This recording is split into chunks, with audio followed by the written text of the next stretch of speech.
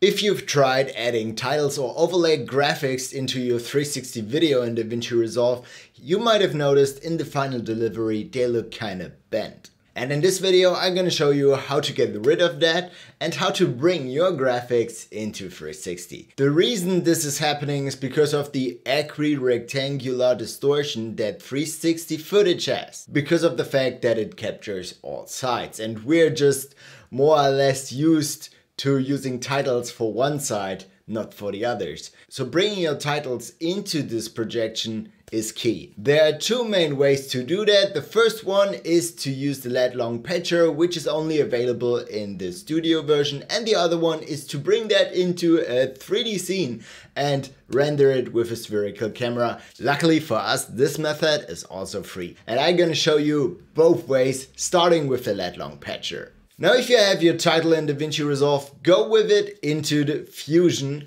bring in a background and make it transparent. Then click Shift Spacebar to bring up the search tool and look for the lat long patcher. If you set the mode to extract, you can see that it's bringing you a one by one image, which is the side that is facing you basically because each of the quadrants that we have in these equirectangular views represents one of the sides that we have. You can orient the way you are facing by using the X, Y and Z controls in the lat long patcher to extract that view of the equi-rectangular footage. Once you've extracted it, you can just merge your title on top of it and then copy your lat long patcher and set the mode to apply.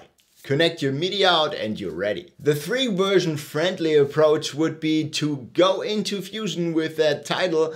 In Fusion, bring in an image plane 3D and slide it backwards a little bit into Z space. Bring in a spherical camera by looking for it, pressing shift and space and merging that together into a merge 3D and add a render 3D at the end. In the render 3D, you want to set your camera to be the spherical camera.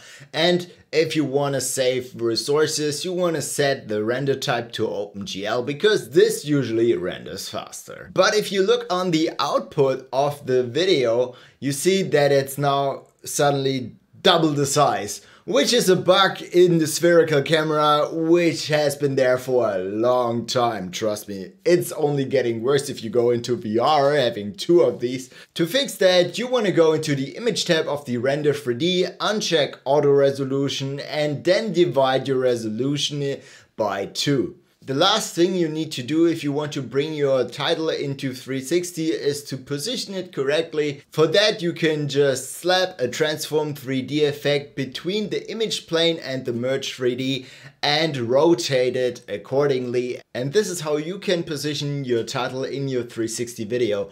But you can also position your title in 3D space using the camera tracker and how you do that I show you in this video right here.